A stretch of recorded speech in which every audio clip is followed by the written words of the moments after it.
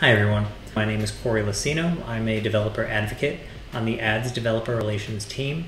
Our goal today is to take a look at the query validator on our uh, developer's site to plug in a query, see whether or not this query is valid, see whether or not uh, there are any errors, and it's going to allow us to open that query back up in the uh, interactive query builder if we want to continue with it. Let's just go ahead and try some examples together and see if we can solve them on our own. I'm going to paste in a query here. So select campaign ID, campaign name, segments.slot, segments.hour, and metrics.clicks from campaign. Do you think this is valid? All right, let's validate it and find out. It is invalid. Now the reason is that segments.hour is not compatible with segments.slot. So depending on which of these values we feel is more important to report on for this use case, and then potentially try to uh, create a, a, second query for the other pieces of information and aggregate it on the ba- on, on uh, the application side. Um, we just need to figure out which one of these to remove. So in this scenario, I'm going to remove segments.slot, and I'm going to validate again, and we're going to see now that this is a valid query.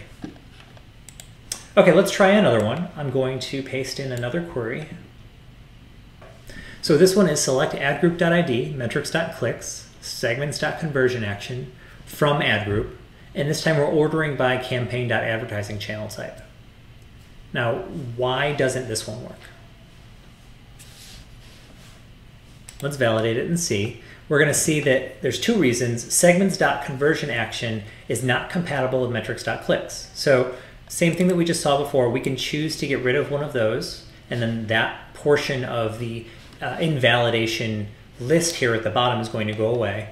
But also we're going to see that the uh, campaign attribute that we added here in the order by uh, is causing an error. And the reason is, like we had discussed earlier, if any attribute of a resource is in the order by, at least one attribute of that resource needs to be in the select. And this is for only attribute resources. Campaign is an attribute resource of ad group, we're ordering by campaign.advertising channel type. Therefore, at least one of the campaign attributes needs to exist within the select. So what I'm going to do is I'm going to get rid of uh, metrics.click. So we decided we don't want that. In its place, I'm going to put in campaign.id. Now we're adding any attribute of campaign to the select clause, so this should clear up the issue with the order by clause. And it does. The issue is now resolved. There are no fields in the select that don't play well with the segments in the select or in the query in general. And the uh, attribute resource used in the order by, now at least one of its attributes exists within the select. All right, and the last one that we're going to do here. Uh, so select ad_group.id and metrics.clicks from ad_group where metrics.clicks is not equal to 1, 2, or 3. So what do you think is wrong about this one? If you're yelling at your screen that the operator is wrong, you are correct. So uh, the one, two, three uh, format here that you're seeing is only used with the in or not in operators. So if we wanted to say where metrics.clicks is not equal to one and metrics.click is not equal to two and metrics.clicks is not equal to three, that would work. Or we can just change this to not in. Now validating that is going to work, this is now the correct operator for this type of data value.